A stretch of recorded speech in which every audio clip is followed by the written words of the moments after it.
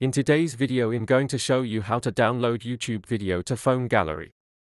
First you need to go to YouTube and select which video you want to download. In this case this is the video I want to download. Now you need to go to Play Store and download YouTube Studio app.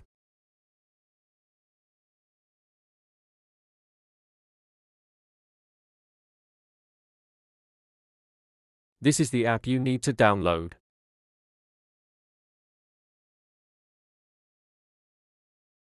Then open it.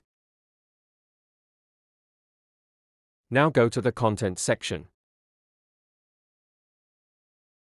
Find the video that you want to download. Then click on the three dots and click on Save to Gallery.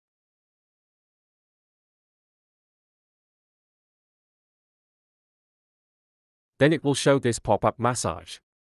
Then if you go to the notification panel you can see the video is downloading.